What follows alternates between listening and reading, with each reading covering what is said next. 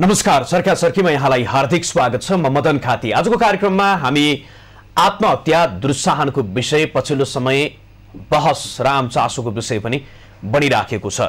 खास गरी जुन मुलुकी संहिता रहेको थियो त्यसमा पनि फौजदारी संहितामा आत्महत्या दुर्साहनको विषयलाई कसुरको रूपमा त्यहाँ राखिसकेपछि पछिल्लो एक वर्षमा मात्र एक सय बत्तीसजना यही कसुर अन्तर्गत हिरासतमा रहेको र तीमध्ये केही त अदालतबाट खास गरी यही कसुर प्रमाणित भएर सजाय पनि भुक्तान गरिराखेको भन्ने कुरा पनि आइराखेको छ र केहीले गरिसकेको अवस्था पनि रहेको छ।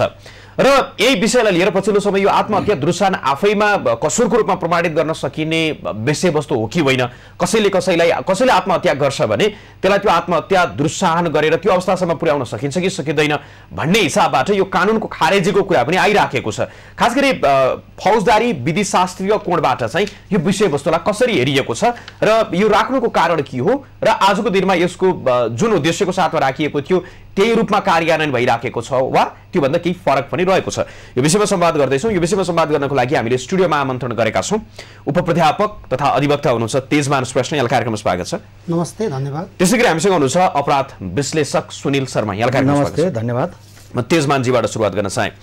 अहिले जस्तो दुई हजार चौहत्तर सालमा जारी भएको मुलुकी अपराध जुन संहिता रहेको छ बाह्रौँ परिषदको ज्यान सम्बन्धी कसुर अन्तर्गत दफा एक सय पचासीमा आत्महत्या दुर्सानलाई कसुरको रूपमा त्यहाँ राखिसकेपछि आजको दिनसम्म आइपुग्यो झन्डै एक वर्षको अवधिमा चाहिँ एक सय बत्तिसभन्दा बढी चाहिँ हिरासतमा रहेको भन्ने कुरा छ। यो राख्नुको चाहिँ फौजदारी विधिशास्त्री कोडबाट हेर्दाखेरि चाहिँ यो आफैमा त्यति बेला जसले मसौदाकारहरू हुनुहुन्थ्यो कुन उद्देश्यको साथमा यसलाई राखिएको थियो? धन्यवाद मदनजी। यो अत्यन्तै सापेक्षिक विषयवस्तुमा आज हामी छलफल गर्दैछौँ। यो नेपालको परिप्रेक्ष्यमा एकदमै विशुद्ध नयाँ प्रयोग हो। यसभन्दा अगाडिका जति पनि हामीसँग यसलाई कार्यान्वयन गर्न बनेका ऐनहरू थिए अथवा खास गरी मुलुकी ऐन भनौँ लामो समय प्रचलनमा रहेको त्योभन्दा बाहेक विशिष्ट ऐनमा पनि यसलाई हामीले अपराधीकरण गरेका थिएनौँ। दुई हजार चौहत्तर सालमा पहिलोपटक आएको हाम्रो यो मुलुकी अपराध संहिता ऐन दुई हजार चौहत्तरको यो दफा एक सय पचासी एक र दुईमा चाहिँ हामीले व्यवस्था गरेका छौँ। एक सय पचासी एकले चाहिँ दुधसाहन गर्न हुँदैन। र बाध्य पनि पार्नु हुन्न भन्ने छ। र दुईमा चाहिँ सजायको व्यवस्था छ। अब यसको फिलोसफीलाई किन राख्नु पर्यो अथवा यो ठिक बेठिक के हो भन्ने सम्बन्धमा खास गरी हामी मात्रै होइन संसारमा धेरै मुलुकहरूले यसलाई क्रिमिनलाइज गरेका छन् अर्थात् यसलाई अपराधीकरण गरेका छन्। यो गर्न जरुरी पनि छ। किनभने कोही मान्छेले कोही मान्छेले कसैलाई विभिन्न कारणले बाँच्नेको विकल्प नदिएर मर्न बाध्य तुल्याउँछ भने त्यस्तो अवस्थामा यसलाई अपराधीकरण गर्नुपर्छ। विधायिकाले यो कानुन निर्माण गर्दा यसको मनसाय पनि त्यही थियो। खास गरी दुईवटा अवस्थामा एउटा चाहिँ जो मान्छेहरू पेसेवर अपराधी हुन्छन् उनीहरूले खास गरी महिलाहरूलाई बाध्य पारेर कुनै कुरामा ब्ल्याकमेल गरी गरी तँलाई यस्तो नगरे यस्तो गरिदिन्छु भने ब्ल्याकमेल गरी गरी बाध्य तुल्याएर आत्महत्या गर्न बाध्य तुल्याउने ताकि ती महिलाहरूको विकल्पै देख्दैन बाँच्नको लागि। र त्योभन्दा हाम्रो कन्टेक्समा चाहिँ यो खास गरी तराईको हुन त सबै ठाउँमा छ अ, तराईमा अलिक बढी छ। यो हामी दाइजो प्रथा अब श्रीमानले परिवारले दाइजो नल्यायो भने यातना दिने यो ल्याऊ त्यो ल्याऊ भन्ने बाबुमासँग ल्याउने विकल्प छैन। त्यस्तो अवस्थामा बाध्य भएर मर्ने अवस्था आयो भने उनलाई सजाय गर्नुपर्छ भनेर यो व्यवस्था गरिएको हो। जस्तो तर यसको तर यसको दुरुपयोग हुन सक्ने चाहिँ व्यापक सम्भावना। यहाँले भन्नुभयो नि आत्महत्या दुर्साहन गर्ने विषय त्योलाई कसुरको रूपमा प्रमाणित गरेर सजायको व्यवस्था गरिएको छ। यो भन्दै गर्दाखेरि जुन सजाय आजको दिनमा पाँच वर्ष कैद र पचास हजार जरिवानाको जुन सम्म। होइन? त्यो कैदको र पचास हजारसम्म जरिवानाको जुन विषयवस्तु छ त्यसलाई चाहिँ यदि कसैले त्यो हत्याकै लागि आत्महत्या भनिसकेपछि त्यो हत्यामै प्रमाणित कसुर प्रमाणित नगरेर किन त्यो आत्महत्या दुर्सानमा राखिएको त्यो कोणबाट पनि तर्कहरू आइराखेका छन्? यसमा दुईवटा छ। एउटा त हत्या भनेको चाहिँ दोस्रो पक्ष जो चाहिँ क्रिमिनल एटिच्युडको छ उसले हत्या नै गर्ने कुरा भयो। अर्को आत्महत्यालाई पनि किन हामीले क्रिमिनलाइज गऱ्यौँ भन्ने कुरा हो। आत्महत्यालाई क्रिमिनलाइज गर्नुको अघि पनि मैले थोरै कोट्याएको थिएँ। कोही मान्छेले आफै गएर उसलाई मार्दैन तर उसलाई मार्न बाध्य तुल्याउँछ। यहाँनिर अपराधको फिलोसफी जान्नुपर्ने हुन्छ। अपराधमा दुईवटा महत्त्वपूर्ण शब्द छन्। एउटा मेन्सया भन्छ मनसाय अर्को एक्टस या कार्य। यो अपराध गर्नको लागि मार्नको लागि मान्छे प्लान गरेर हत्या गर्छ। त्यो हत्या अन्तर्गत सजाय हुने भयो यो चाहिँ ज्यान सम्बन्धी कसुरमा आत्महत्यालाई पनि हामीले क्रिमिनलाइज गरेका छौँ। अब यसमा फरक चाहिँ के हो भने यदि त्यो हत्या हो भने सजायको दायरा बढी छ आत्महत्या हो भने कम छ। तर अपराधमा के हेरिन्छ भने हत्याभन्दा आत्महत्या अझ गम्भीर रहेछ। किनभने त्यो मान्छेलाई बाँच्ने विकल्पै दिँदैन।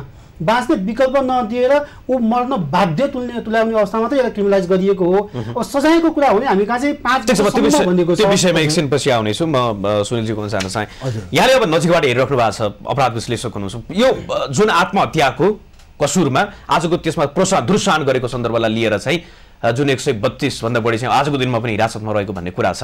र यसको चाहिँ कार्यान्वयनको स्थिति जुन नेपाल पछिल्लो एक वर्षमा चाहिँ देखिया छ नि यहाँले कसरी हेर्नु भएको छ? के विश्लेषण छ? यसलाई मैले कसरी हेरेको छु भने जस्तो सरले भने जस्तो एक सय बत्तिसजना अहिले छ भोलि चाहिँ दुई सय चौसठी होला हजार पुग्ला। अब यो सङ्ख्या अ, पट्टि भन्दा पनि हामीले कसरी हेर्नु पर्यो भने यो दुरुस्तान भन्ने शब्द नै मा मेरो चाहिँ असहमति छ। किन भन्दाखेरि दुरुस्तान भनेर चाहिँ कसैलाई प्रोत्साहित गर्नु आत्महत्या गर्नलाई प्रोत्साहित गर्नु जस्तो हालै चितवनमा घटेको घटनालाई लिएर अब पत्रकार साथीहरू परिराख्नु भएको छ। त्यो घटनालाई मैले कसरी हेरिरहेको छु भन्दाखेरि दुरुस्तान त्यहाँनिर भएको छ कि छैन भन्ने कुरा मेजर प्रश्न हो। अब दुरुस्तान भन्ने शब्दमा मेरो के असहमति छ भने जस्तो एकजना न्यायाधीशले चाहिँ नि कसैलाई फैसला गरिदिनु भयो उसले आएर चाहिँ नि आत्महत्या गरिदियो। भने अब त्यहाँ नोट लेखेर अथवा भिजुअल उसले गरेर आत्महत्या गर्यो भने अब त्यो न्यायाधीशमाथि दुरुस्तानको ऊ लाग्ने कि नलाग्ने? अथवा एउटाले भ्रष्टाचार गर्यो भ्रष्टाचारलाई चाहिँ नि पक्राउ गरियो भनेर भनियो अब ऊ चाहिँ नि उसको कसुर प्रमाणित नहुँदैखेरि चाहिँ उसले आत्महत्या गरिदियो भने अब केही दिन अगाडि नै एकजना सुब्बाले चाहिँ नि अख्तियारको प्रमुखलाई चाहिँ नि लेखेर गरेको छ होइन? भनेपछि यस्तो केसहरूमा चाहिँ नि दुरुस्तान भन्ने शब्द नै अलिकति गलत छ कि जस्तो मलाई लाग्छ? यसको चाहिँ परिमार्जन हुनुपर्छ जस्तो मलाई लाग्छ। दुरुस्तान अ, कस्तो अवस्थामा दुरुस्तान हुन्छ र कस्तो अवस्थामा हुँदैन भन्ने कुरो। जस्तो सरले भन्नुभयो दाइजोको कुरामा अब कसैले घरमा चाहिँ नि बुहारी ल्यायो अब बुहारीलाई चाहिँ ससुराले भन्यो कि तिमीले दाइजो ल्याइनौ? भोलि पनि भन्न दाइजो ल्याइनौ पर्सि सासूले भन्ला दाइजो ल्याइनौ। त्यस पछाडि चाहिँ नि श्रीमानले भन्ला दाइजो ल्याइनौ। अब त्यो त्यो ल्याइएको चाहिँ नि जुन छोरी चेली छ उसले आत्महत्या गरिदियो भने त्यो दुरुस्तान त्यो चाहिँ दुरुस्तान हुन्छ। त्यो चाहिँ दुरुस्तान हुन्छ। तर अब एउटा कुनै व्यक्ति गएर होटलमा चाहिँ गएर झुन्डिएर मर्छ। र चाहिँ मलाई चाहिँ फलानु फलानुले उ गर्दाखेरि भयो भन्ने कुरा हुन्छ। यसमा चाहिँ कस्तो भन्दाखेरि मानसिक रोगको पनि कारणहरू हुन्छ। जस्तो डिप्रेसन होइन? डिप्रेसनको कुरालाई हामीले चाहिँ लिनलाई सक्छौँ। डिप्रेसन उसको कुन किसिमको डिप्रेसन छ? जस्तो हालसालै घटेको घटनामा शालिग्राम पुडा सैनी जो मर्नुभयो उहाँको केसमा के देखिन्छ भने उहाँले चाहिँ नि डिप्रेसनको चाहिँ नि औषधि लिइराख्नु भएको थियो। तर कुन डक्टरबाट कुन डिप्रेसनको औषधि लिइराख्नु भएको थियो भन्ने कुरो त्यो अहिलेसम्म आएको छैन बाहिर। त्यतापट्टि खोज तलास भएको छैन। तर डिप्रेसन त डिप्रेसनमा थियो। उसले आत्महत्या गरेकै हो। उसलाई चाहिँ नि दुरुस्तान गरेको भन्ने त्यहाँ देखिँदैन प्रमाणले। हुन त म कानुनको विद्यार्थी यहाँले उठाउनु भएको कुरा मैले तेजमानजीबाट जान्न चाहेँ। उहाँको कतै न कतै देखिने कुरा भनेको दुरुत्साहनको विषय छ नि त्यसलाई प्रमाणित अथवा त्यसको आधारहरू के के त? के के भयो भने चाहिँ त्यसलाई दुरुत्साहन भन्ने। र के गर्दाखेरि चाहिँ त्यो दुरुत्साहन प्रमाणित हुँदैन? भन्ने सन्दर्भमा चाहिँ यो संहिताले चाहिँ प्रष्ट रूपमा नबल्या हो कि भन्ने कोणबाट पनि अलिक पछिल्लो समय आइराखेको छ एकदमै राम्रोसँग भन्नुभयो। हाम्रो यो मुलुकी संहिताले हामीले पहिलोपटक यो दुरुत्साहनलाई आत्महत्याको दुरुत्साहनलाई हामीले अपराधीकरण गऱ्यौँ। तर यो के के भयो भने यो दुरुत्साहन हो? भन्ने कुरा हामीले प्रष्ट भनेनौँ यहाँनिर हाम्रो कानुनको केही ल्याप्सेसहरू छ यसलाई थप व्याख्या गर्नुपर्छ। खास गरी नेपालमा यसलाई यो खाले अपराधलाई अपराधीकरण गर्नुपर्छ है यो खाले खाले कार्यलाई अपराधीकरण गर्नुपर्छ है भनेर महान्याधिवक्ताको कार्यालयले पनि दुई हजार बहत्तर सालमा रिसर्च गरेको थियो। त्यसले के भन्छ भने सबैभन्दा पहिला यसको मिसयुज हुने एकदम खतरा छ। यसको राजनैतिक उद्देश्यको लागि प्रयोग हुनसक्छ जो पार्ट जस जुन पक्षको मान्छे मरेको छ उसले पनि यसलाई रिभेन्ज रूपमा लिन सक्छ। अनुसन्धान गर्ने अधिकारले त्यो प्रेसर थ्याक्न सक्छ कि सक्दैन अर्को त्यहाँ त्यो जो मान्छे मर्छ ऊ चाहिँ उसको साइकोलोजिकल अवस्था के हो त्यो पछि नै ख्याल गर्नुपर्छ भनेर भनेको छ। भारतमा सुरुमा चाहिँ त्यो तपाईँको दफा तिन सय नौमा भारतको भारतीय दण्ड विधानको दफा तिन सय नौमा यो सम्बन्धी व्यवस्था छ। तिन सय पाँच छ सातमा छ। त्यहाँ चाहिँ बच्चालाई र मनोरोगीलाई दुधसान गर्यो भने असाध्यै कडा सजाय थियो। र भारतमा त आत्महत्या it's suicide it's is a crime भारतमा आत्महत्या पनि अपराध हो। तर अहिले त्यहाँ चाहिँ मेन्टल हेल्थ सम्बन्धी नयाँ ऐन ल्याएर त्यो व्यवस्थालाई संशोधन गरिएको छ। अब आत्महत्यालाई अपराध गरेर होइन। यहाँनिर हामीले जोड्नुपर्ने महत्त्वपूर्ण के हो भने संसारमा अहिलेसम्म राज्यहरूले गरिबको मात्रै होइन यो विकसित देशमा पनि संसारभरि नै आत्महत्या सम्बन्धी धेरै लगानी भएको छैन। किन मान्छेले सुसाइड गर्छ अर्थात् मेन्टल हेल्थमा लगानी भएकै छैन। आज संसारमा आफ्नो देशको कुल बजेटको एक प्रतिशत खर्च पनि यसमा लगानी भएको छैन। अब रह्यो जहाँसम्म यसलाई अपराधीकरण गर्ने कुरामा यसमा यो यो भइदिएको जस्तो मैले अहिले पनि भने अघि हाम्रो मित्रले के कुरा उठाउनु भयो खास गरी भारतको एउटा एक- एकदम प्रख्यात केस केस छ। एउटा चाहिँ हाम्रो दलवीर भण्डारी जो अहिले अन्तर्राष्ट्रिय न्यायालय इन्टरनेसनल कोर्ट अफ जस्टिसको अहिले चाहिँ उहाँ चाहिँ सिटिङ जज हो। उहाँ भारतको सर्वोच्च अदालतको न्यायाधीश हुँदाखेरि उहाँ र एकजना जस्टिसले एउटा फैसला गर्नुभएको छ। त्यो केसमा के थियो? कृषि मजदुरले अपराध गर्यो भनेर त्यो कृषि मजदुरको साउले उसलाई पब्लिक रूपमै उसलाई बेइज्जत गर्छ। केही लोन दिएको तत्काल लोन पनि तिर भन्छ। उसले त्यो ऋण फिर्ता गर्न सक्दैन। अब समूहमै अब पब्लिकमै उसको बेइज्जत भइसक्यो। उसले दुई दिनभित्र सुसाइड गर्छ। सुसाइड गरेपछि ट्रायल कोर्टले के भन्छ it's a crime it's a crime it's a suicide it is because of instigated by that job provided भनेर त्यो जसले उसलाई कानुन जसले उसलाई चाहिँ जागिर दिएको थियो जागिरदाताले यसलाई चाहिँ प्रोभोक गर्यो मर्न भनेर उसलाई ट्रायल कोर्टले पहिला त्यसलाई ठहर गर्छ। तर सुप्रिम कोर्टले के भन्छ भने मान्छेको विभिन्न बाध्यता हुन्छन् मान्छेका विभिन्न आयाम हुन्छन् मान्छे भनेको प्याजको पत्रो जस्तो नै हो नि विभिन्न आयाम छ मान्छेको। ऊ के कारणले सुसाइड गर्यो? त्यही उसको साउले उसलाई पैसा फिर्ता मागेर तैँले चोइस भन्दा उसलाई आ, बेइज्जत गर्यो भनेर मात्रै मरेको भनेर पुष्टि हुन्न भनेर त्यसले चाहिँ सुप्रिम कोर्टले त्यो मान्छेकोलाई सफाइ दिएको छ हेर्नुहोस्। एउटा इन्ट्रेस्टिङ केस यो टु थाउजन्ड टेनको केस हो। त्योभन्दा अझ अगाडि एउटा इन्ट्रेस्टिङ दाइजोको केस छ। दाइजोको केसमा दाइजो र एउटा हस्बेन्डकोसँग सम्बन्धको केस छ। श्रीमतीले के भन्छ के भनेर आरोप लगायो भने यो चाहिँ नाइन्टिन नाइन्टी फाइभको केस हो। त्यसमा के भएको थियो भने मेरो हस्बेन्डको चाहिँ घरकै कोही मान्छेसँग अनैतिक सम्बन्ध छ मलाई उसले यातना पनि दियो त्यो भनेर उसले चाहिँ सुसाइड नोट लेखेर उनले आत्महत्या गर्छन्। ट्रायल कोर्टले चाहिँ त्यसलाई ठहर गर्यो हो। यो त सुसाइडै हो। इट इज इन्स्टिगेटेड भारतमा चाहिँ हामी एबेटमेन्ट भन्ने प्रयोग गर्छौँ दुलसानलाई भारतमा चाहिँ इन्स्टिगेसन त्यसलाई गलत ढङ्गले प्रोत्साहन गर्ने त्यो शब्द प्रयोग गर्दछन्। त्यसमा पनि सुप्रिम कोर्टले के भन्दैन होइन यो त होइन। त्यो सम्बन्ध हुनु पऱ्यो त। आफ्नो लोग्नेको नाजायज सम्बन्ध थियो भने लोग्नेलाई कानुनी सजाय पो दिनु पर्थ्यो त बाँच्ने विकल्पै नहुने गरी के गर्यो उसले? जस्तो हुनसक्छ लोग्ने एकदमै सधैँ रक्सी पिएर आउँछ आम्दानीको सबै भाग रक्सी खाएर खर्च गर्छ अथवा लागु औषध खान्छ घरमा हरेक दिन यातना दिन्छ।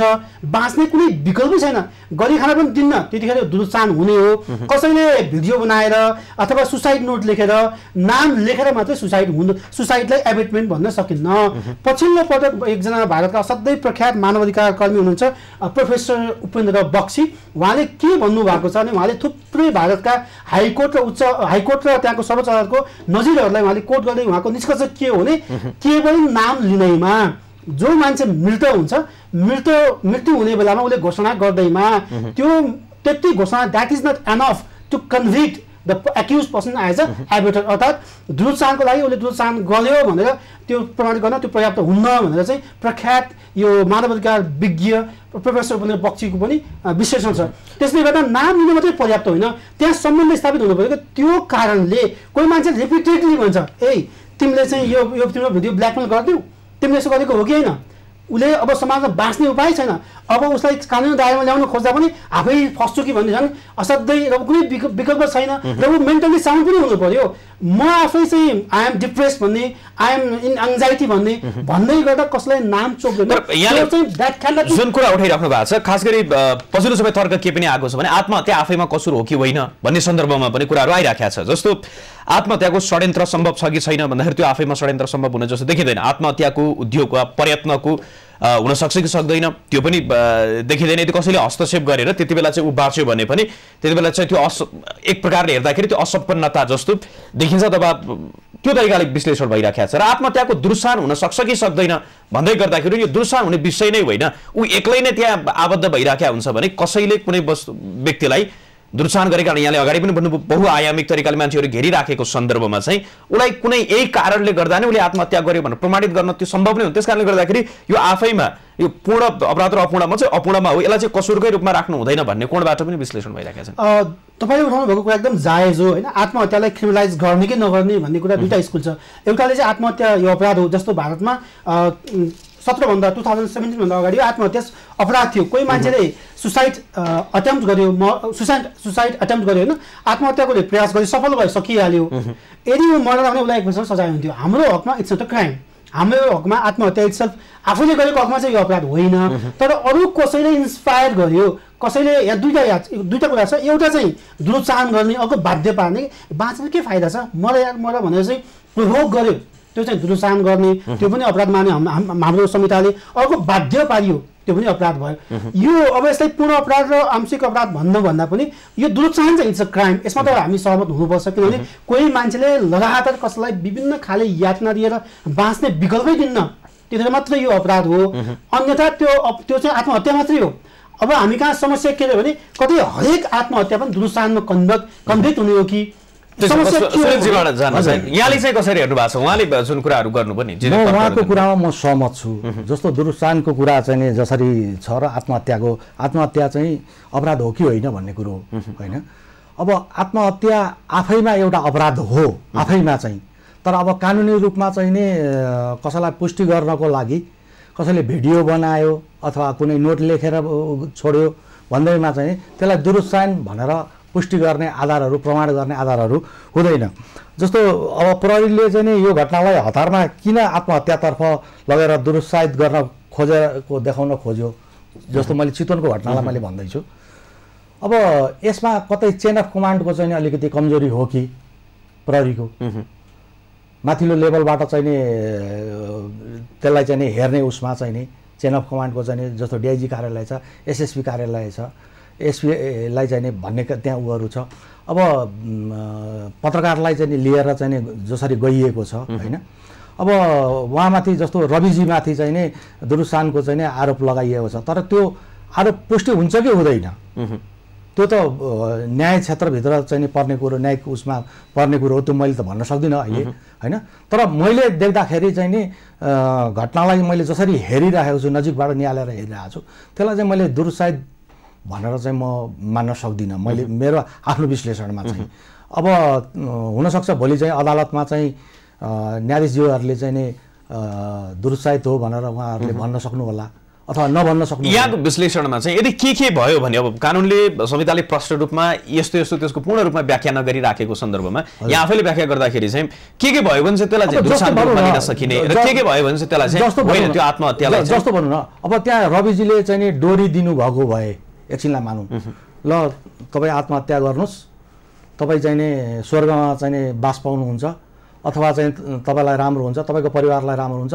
तपाईँको उसलाई चाहिँ म यति पैसा दिन्छु भनेर भनिदिएको भए अथवा त्यस्तो कुनै प्रमाण त्यहाँ भएको भए त्यो दुरुत्साहित हुन्थ्यो। होइन? अब कुनै व्यक्ति काठमाडौँमा भइरहेको मान्छे चितवनमा गएर आत्महत्या गर्छ एउटा संस्थामा काम गरिरहेको मान्छे अर्को संस्थामा गइसकेको छ।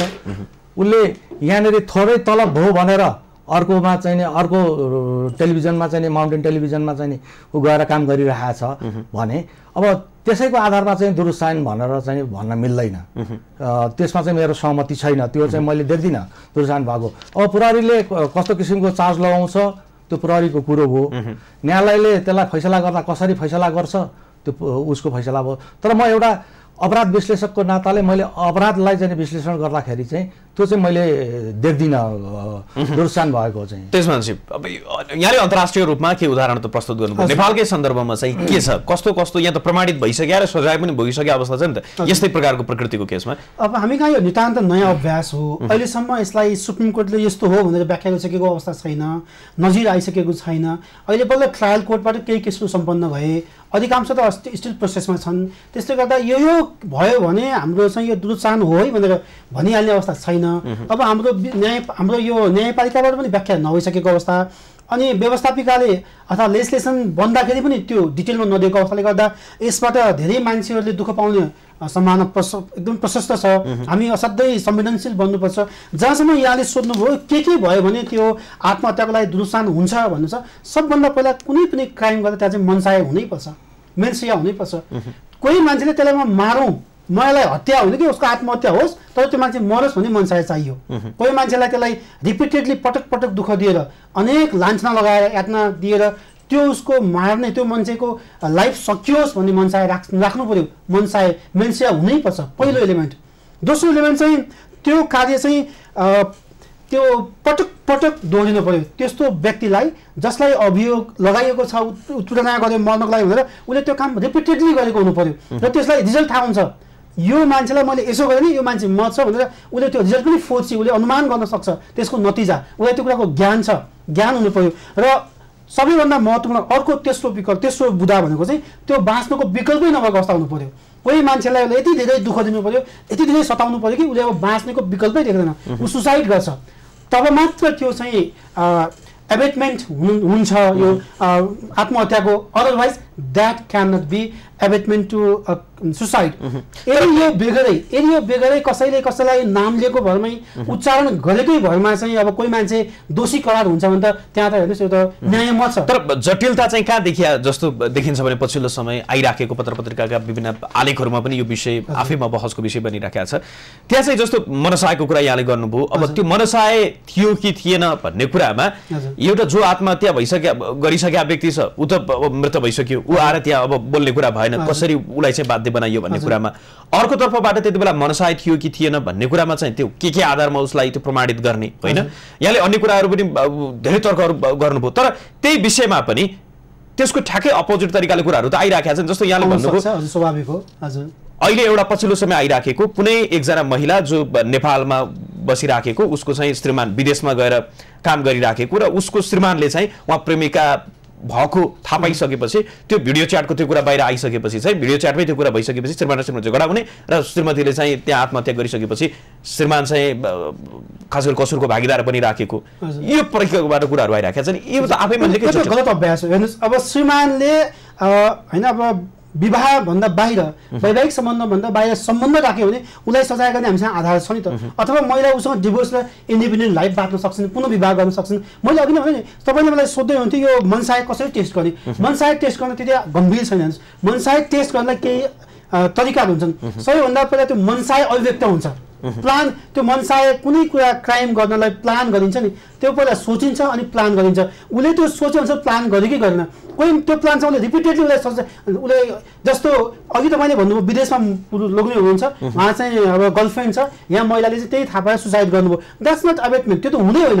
यदि त्यो पुरुषले पटक पटक होइन त्यो महिलालाई बाँच्ने आधार दिनुहुन्न धम्क्याउनुहुन्छ ट्र्यापमा पार्नुहुन्छ नभएको कुरा कुनै उहाँको महिलाको आफ्नै श्रीमतीको कमजोरी छ त्यसलाई म चाहिँ उहाँले कति प्रोभोक गर्नुहुन्छ भने त्यो अवस्थामा to some action he can be liable just उसले आफू सम्बन्धमा एथिकल नभएको भएर मात्रै त्यसलाई चाहिँ त्यो दुरुस्तान हुँदै होइन। त्यो भयो भने त यो त एकदम यसको गम्भीर दुरुपयोग हुन जान्छ। मुख्य कुरा त्यहाँ मनसाय हुनु पर्यो। मनसाय चाहिँ उसले प्लान गर्छ मनसाय देखिन्छ हेर्नुहोस्। अनि अर्को त्यस्तै उसले त्यो रिपिटेडली त्यो प्रयोग गर्नु पर्यो के? रिपिटेडली प्रयोग गर्यो भने चाहिँ उसको मनसाय रहेछ उसले प्लान पनि गर्यो र बाँच्ने विकल्प पनि दिनु भएन। त्यतिखेर मात्र यति तिनवटा कुरा भयो भने त्यो चाहिँ दुरुत्सान हो आत्महत्याको लागि अदरवाइज होइन। त्यसो भए कार्यक्रमको लगभग अन्तिममा छु। अन्त्यतिरमा सुनिलजी अब आत्महत्याको कारणहरू चाहिँ के के छ? यो त एउटा दुर्सानको कुरा भयो होइन।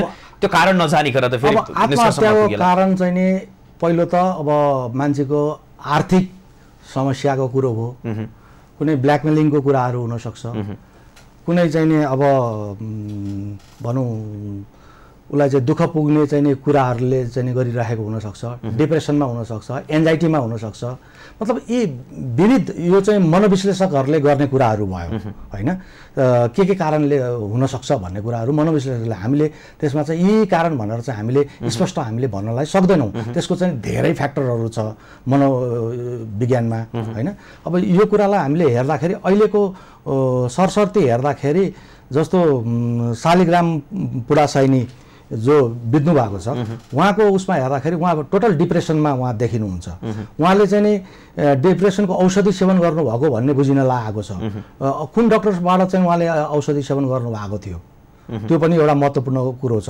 र औषधि उहाँले लिनुभएको थियो कि थिएन त्यो अवस्थामा? त्यो पनि एउटा महत्त्वपूर्ण कुरा छ। अर्को कुरो चाहिँ नि भनौँ न मनोविश्लेषकहरूसँग परामर्श उहाँले लिनुभएको थियो कि थिएन? डक्टरको साथसाथै मनोविश्लेषकहरूसँग परामर्श लिनुभएको थियो कि थिएन? यो कुरा पनि चाहिँ नि हेर्नलाई जरुरी छ है? अब तर उहाँले त्यो सब नगरिकन एकैचोटि चाहिँ उहाँ सुसाइडमा चाहिँ नि ज- जसरी जानुभएको छ जस्तो चाहिँ भनौँ गन्जी लगाउनु भएको छ एकछिन पछाडि चाहिँ उहाँले चाहिँ।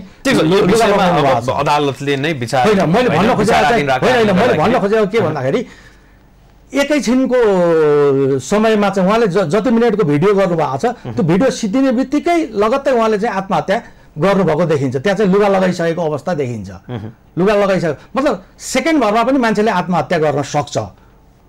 यो चाहिँ अब मनोविश्लेषकहरूले बताउन सक्ने कुराहरू हो। हामीले यसलाई बताउनलाई त गाह्रो हुन्छ। ठिक छ। यही यही केसमा त अब अदालतमा विचाराधीन रहेको कारणले गर्दाखेरि त्यो प्रहरीले पनि अनुसन्धान गरिराखेको छ। के आउँछ दुई तिन दिनमै होइन? त्यसपछि प्रष्ट होला। त्यसमा चाहिँ हजुर। यहाँहरू कानुनी दृष्टिकोणबाट हेर्दाखेरि चाहिँ यो आत्महत्या दुर्सानको विषय आफैमा यो कसुरको रूपमा रहिराखेको। अन्तर्राष्ट्रिय जगत भारतको त यहाँले केही बताउनु भयो। र अन्य देशहरूमा चाहिँ यो विषयलाई कसरी हेरिएको छ कुनै कुनै देशमा जस्तो आत्महत्या गर्दै गर्दाखेरि जुन व्यक्तिले यदि आत्महत्या गर्न त्यो असफल भयो भने उसलाई फेरि मृत्युदण्डको व्यवस्था पनि भन्ने कुरा पनि आइरहेको थियो।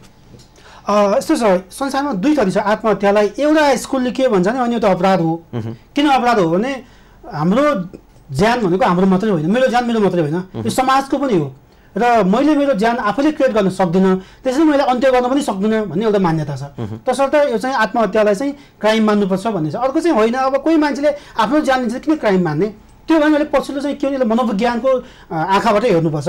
मान्छे किन commit why does it try to commit suicide भनेर महत्त्वपूर्ण कुरा यो अहिले हेर्नुहोस् चालिस सेकेन्डमा एकजना मान्छे मर्छ। हाम्रो नेपालमा नै अहिले झन्डै झन्डै वर्षभरिमा चाहिँ नेपालमा झन्डै झन्डै सिक्स थाउजन्ड छ हजार मान्छेले आत्महत्या गर्दो रहेछन् हरेक वर्ष आत्महत्या गर्ने ट्रेन्ड बढिराखेको छ। अब यो समाजले हाम्रो मुलुकी ऐनले यसलाई चाहिँ अब यो मुलुकी अपराध संहिताले यसलाई क्रिमिनलाइज गरेर मात्रै यो समस्याको समाधान हुने होइन। यसको मनोविज्ञानबाटै हेर्नुपर्छ। मान्छेले किन समाजमा चाहिँ बाँच्न सक्दैन? किन उसले आत्महत्या दोष छ त्यो महत्त्वपूर्ण कुरा हो। अब आत्महत्या कोही मान्छेले गर्छ भने दुरुत्साहनको टुल्स अप्लाई गर्दाखेरि यहाँनिर खास के कुरा ख्याल गर्नु पर्यो भने एउटा मान्छे त मरिसक्यो उसको त ज्यान गइसक्यो। अब बाँकी रह्यो अर्को पक्षलाई पनि भिक्टिम बनाउनु भएन। यदि उसको चाहिँ अल्टिमेटली उसले सहयोग मार्न म उसले मर्नलाई उत्साहित गरेको दुरुत्साहन गरेको हो भने त्यहाँसम्म उसलाई सजाय दिनु ठिकै हो। त्यहाँ पनि त्यो एकैचोटि पाँच वर्ष ह्युज पनिसमेन्ट त्यो त त्यो पनि जस्टिस होइन हेर्नुहोस्। मान्छेलाई सम्झाउने होइन? उसलाई चाहिँ करेक्सनको मौका दिने त्यो नगरिकन एकचोटि पाँच त्यो पनि एकदमै धेरै भयावह अवस्था हो। यसमा अलिकति हामीले हतारमा कानुन ल्यायौँ। कानुन ल्याउन जरुरी छ। धेरै देशले यसलाई क्रिमिनलाइज गरेका छन्। हामीले यो गऱ्यौँ ठिक छ। तर यसलाई अलिकति व्याख्या गरिदिनु पर्थ्यो। न हामी कहाँ यहाँ व्याख्या गरेको छ स्पष्ट धेरै कुराहरू। न यसलाई हामीले क्याटेगोराइज गरेका छौँ। तसर्थ यो पुनः म के कुरा दोहोऱ्याउन चाहन्छु भने कुनै व्यक्ति मर्ने अवस्थामा कुनै व्यक्ति मर्ने अवस्थामा उसले कसैको नाम लिँदैमा त्यो सफिसियन्ट हुँदैन। त्यो पर्याप्त हुँदैन। अझ त्योभन्दा पहिला हामीले के चाहिँ गर्नुपर्छ भने कुनै कार्य भयो अपराध भयो त्यो पहिला हत्या हो कि आत्महत्या हो त्यसको स्पष्ट हाम्रो पैसा हुनुपर्छ। अपराध अनुसन्धान गर्ने निकाय जो आफै कम्पिटेन्ट अथोरिटी हो जसलाई चाहिँ कानुनले नै त्यो अपराध अनुसन्धान गर्ने जिम्मेवारी दिएको छ अख्तियारी दिएको छ। कुनै अपराध घट्यो भने त्यो भन्- सबभन्दा पहिला त्यो हत्या हो अथवा आत्महत्या हो त्यो मृत्युको कारण के हो त्यो पुष्ट्याइ गर्नुपर्छ। तर हामी कहाँ के खतरा पर्छ भने त्यो हत्यालाई त्यो हत्या हो कि आत्महत्या हो खुट्याउनु हुन नि।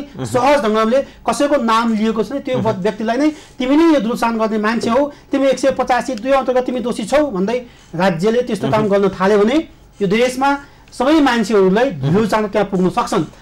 सन- छोरालाई गाली गर्ला मलाई बाउले दुरुत्सान गर्यो भने त्यो सजाय हुन सक्दैन भाग्नु भएको छैन। धेरै ठुलो भएको छ। भएको हामीले जस्ता कसै कपी गरौँ भन्ने मेरो मनसाय होइन। मात्रै के हो भने त्यो दुरुत्सान गर्नको लागि उसको मनसाय थियो कि थिएन। रिपिटेडली उसलाई त्यो बाध्य पारियो कि पारिन र त्यो मान्छेसँग त्यो। विकल्प थियो कि थिएन भन्ने कुरा नहेरिकन यत्तिकै हामीले चाहिँ सजाय ठहर गर्दै गयो भने हाम्रो देश कतातिर जान्छ सहज अनुमान गर्न सकिन्छ। हस् आजको लागि निर्धारित समय सकिएको छ? धन्यवाद। यहाँहरूको सहभागिता र यहाँहरूको महत्त्वपूर्ण विचारको लागि दुवैजनालाई धेरै धेरै धन्यवाद। धन्यवाद। मदनजी। हस्। आजको लागि सरकार छर्कीलाई निर्धारित समय सकिएको छ। खबरभित्रको खबरको लागि हेर्दै रहनुहोला भि न्युज खबर। नमस्कार।